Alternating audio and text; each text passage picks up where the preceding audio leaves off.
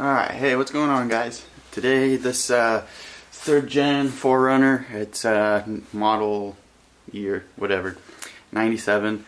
We got uh, we've got a slight oil leak, pretty decent oil leak. So I'm, uh, I checked out under the car and I could see that it was for sure leaking from, uh, sorry, one second.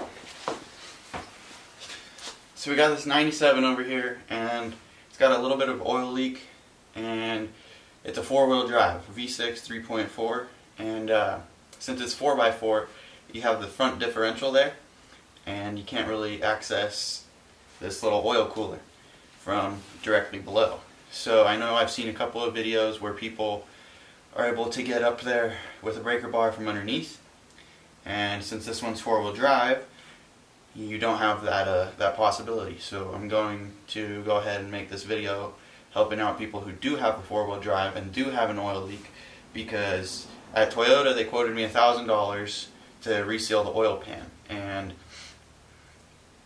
it's a possibility that that could be where the leak is coming from but I know for a fact that this is leaking as well so what I'm going to do is since parts for this and accessing this is a lot easier than accessing the uh, oil pan since it's 4x4. I'm going to go ahead and attack this, get this knocked out of the way, then get it all cleaned up. That way, if uh, if that oil leak does come back, then I know that I got to reseal the pan.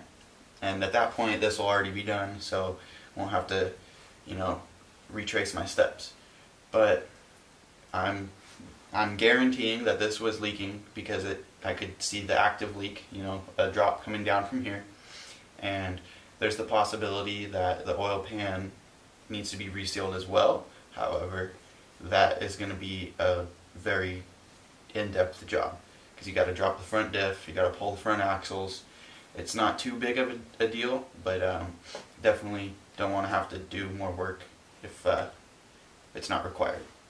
So basically I'm going to show you how I got this little oil pump or oil uh, cooler off because, like I said, it's 4x4 and it's a little bit different than a two-wheel drive. So let's see here.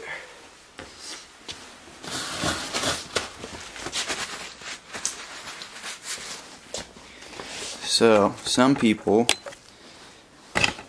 I've seen with the with their two-wheel drive V6 if you check it out from up top here, there's definitely no way to get down there. So what you're going to want to do, first things first, is drain your oil. So we got the oil drain. And you got two coolant lines that sit on top of your oil cooler pump, oil cooler.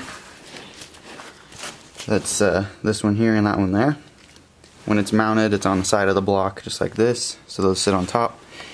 Basically, you're going to want to pull those two lines off, and they have coolant running through them. So, some people, uh, they'll drain their coolant system, but you're still going to have residual coolant in those lines, so regardless, you're going to lose a little bit of coolant if you, not detrimental or anything, just top it off when you're done. Just remember to do that. Personally, I didn't want to do that because I've done it before and um, I've had to drain my coolant before and it's not very fun. It's not very hard, it's just more work than I want to have to do.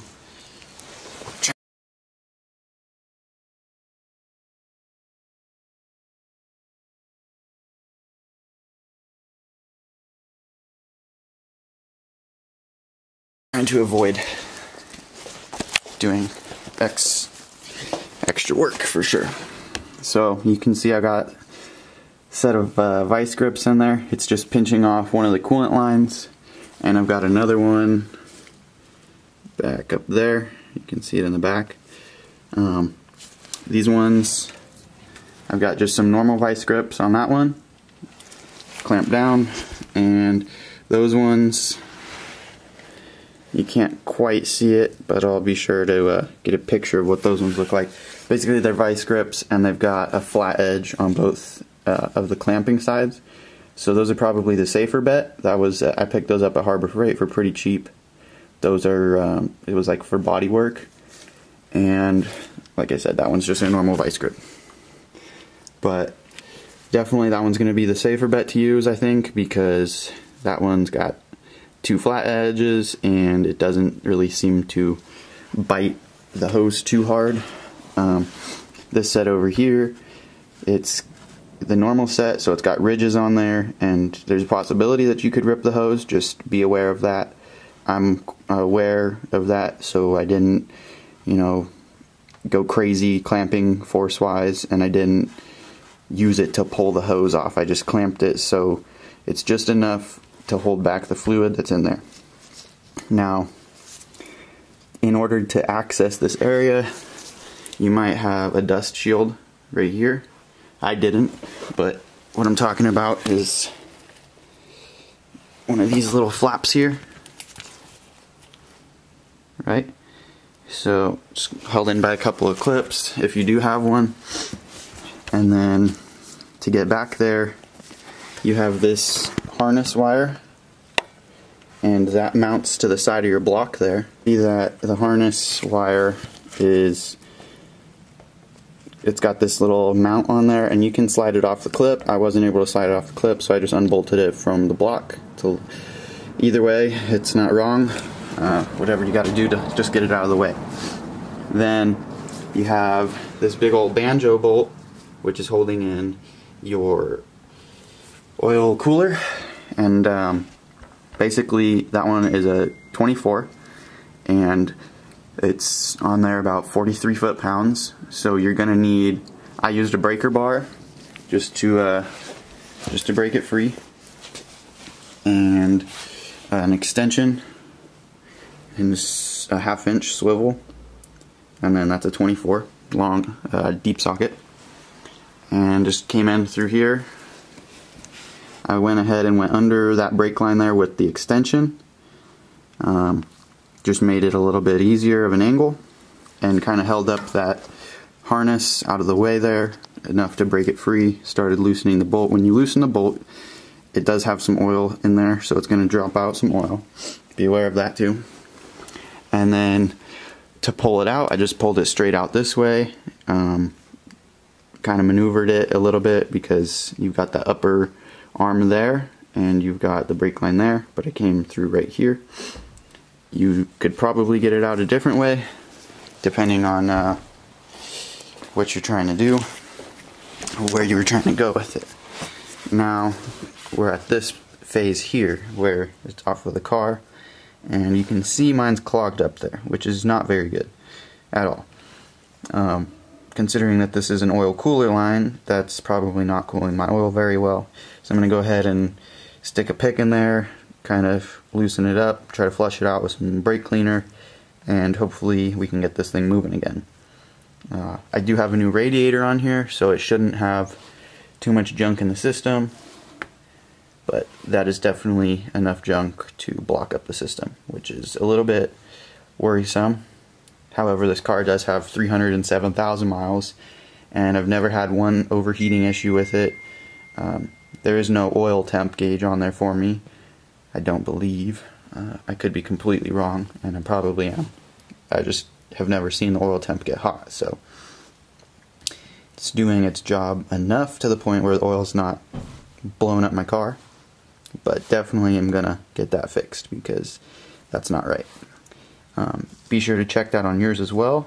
Um, I personally don't know if yours is going to be clogged up or not, but the fact that mine is, that's all the more possibility that yours can be. So basically on these, you've got this seal here, which is your main O-ring, and then on your banjo bolt there, you're going to have another seal. Let me go ahead and grab that. I actually haven't checked this one yet. So Let's see. I don't even know where it is.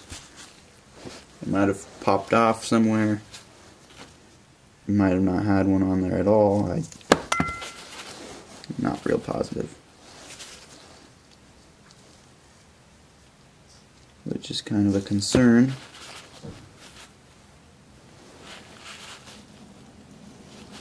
But, uh, anyways, there should be a seal right here, and it should be, it should go on that bolt there. I honestly have no idea where mine is. I wasn't really paying attention when I popped it off of there. But I'll go ahead and look up there and see if I can find it. Anyways, I'm gonna go ahead and get this thing cleaned out, and I'll uh, I'll get back to you once it is. But some people have some junk up in there too. It doesn't look like I've got junk up in there, so that's a good sign. Um, but definitely a concern as to why that thing's clogged up. Car runs great other than that, but I'm glad that I found that out so that I can get it taken care of.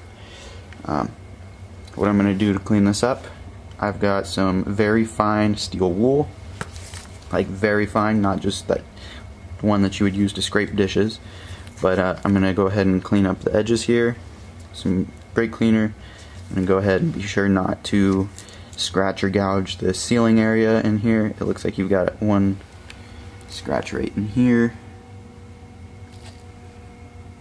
Right there. Um, but that's before the seal, so it shouldn't be a problem. Hopefully shouldn't be a problem. And once I get that thing cleaned up, I'll get back to you.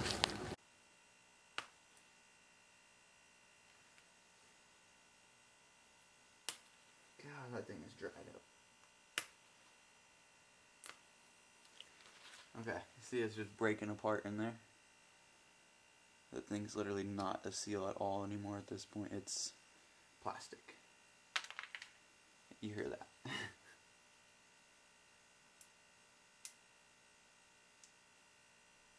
and I wouldn't doubt that it's that way because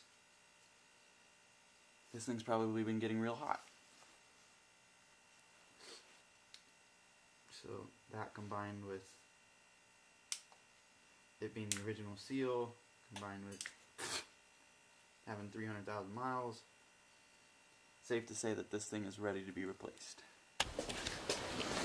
Okay, so this is how uh, how clean I've got it so far. Definitely a whole lot better. Still got some junk coming out of it. I'm trying to clear this tube right now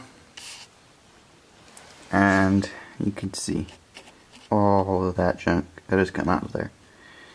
So I'm guessing that that is very clogged up and since coolant runs through it I'm going to put the hose on this end of it and not stop spraying it, building up pressure until I see it clear out of this side because that is definitely not going back on the car yet Let's see if it even comes out.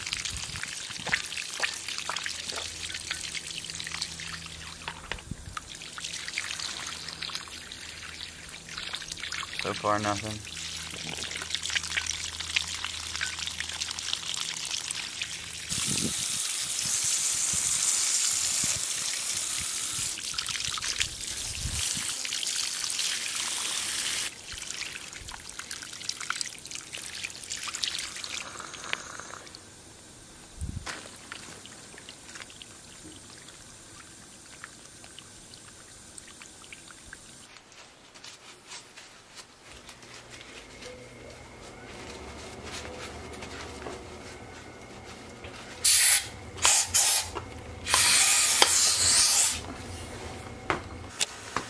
Alright.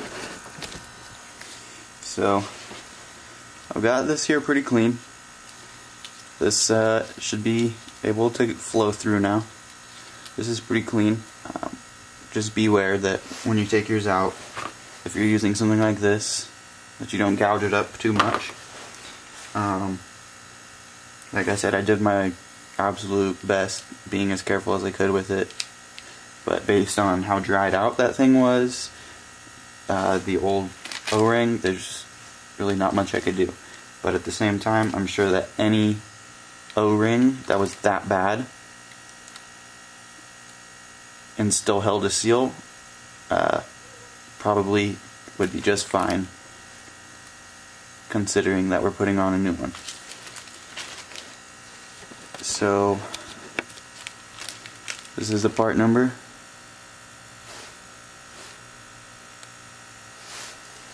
And this is the other part number.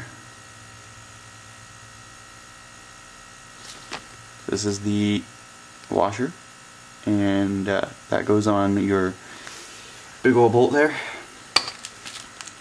And this one goes right in the middle here. I'm going to put a thin little coat, barely any, of uh, just some new oil.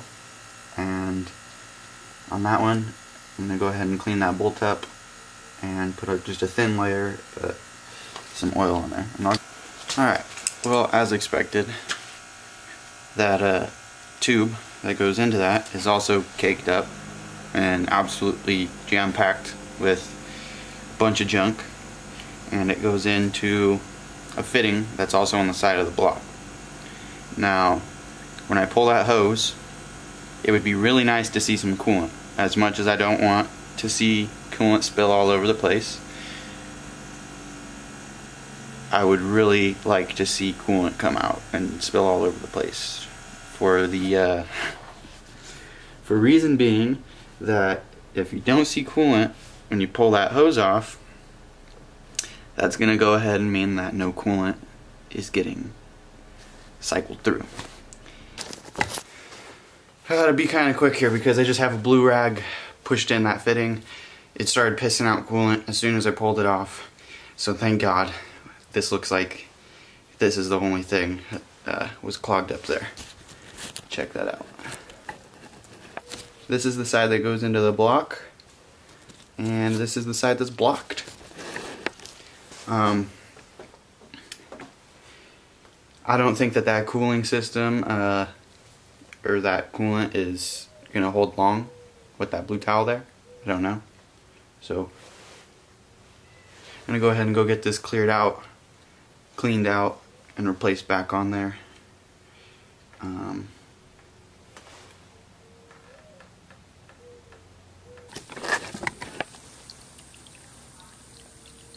literally chunk, chunk. And you try to put water through it, and nothing, nothing. Pressurize it, nothing. Squirt it in there, nothing. So we got, look at, look at that. What the fuck? See, that is so bad. That is so freaking bad. Got a stick here. Let's use this stick to clear the blockage.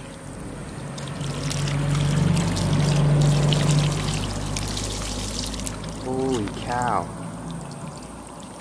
Oh my goodness. That is awful, dude.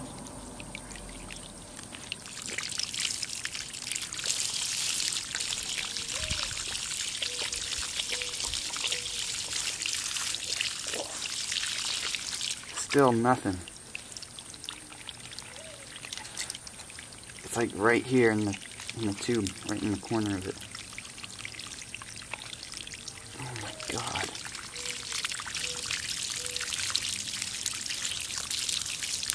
By the way, this is this is you definitely don't want to see all this. Like when you're doing this, this is the worst thing that you could probably be encounter. One of them, for damn sure. That is not good to have in your cooling system.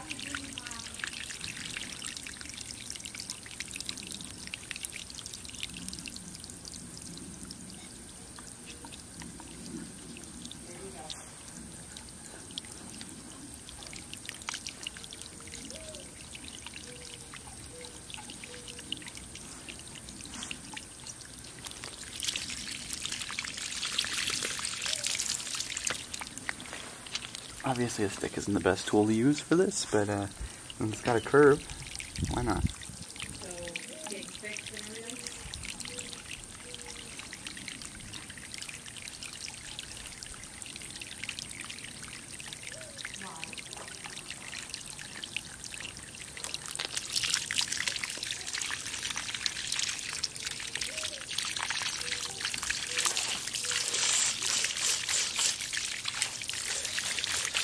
Okay, that is cleared out. Expecting anything to be perfect on this thing. But how the hell was the car even running, dude? Like, straight up, that was clogged. That oil cooler pump was clogged. Like, what the fuck? Um, yeah, I'm gonna go ahead and start reassembling this stuff. Um, I got everything cleaned up pretty much. I gotta change my gloves out. I'm gonna get those seals on there. I'm gonna start reassembling this thing because uh, at this point it's just the reverse order. And uh, basically make sure your surfaces are all clean. Make sure your tubes aren't clogged. Make sure that your uh, oil cooler where it cycles through is not clogged. Make sure everything's cleaned up well reassemble it all. We'll catch back up once we're done with that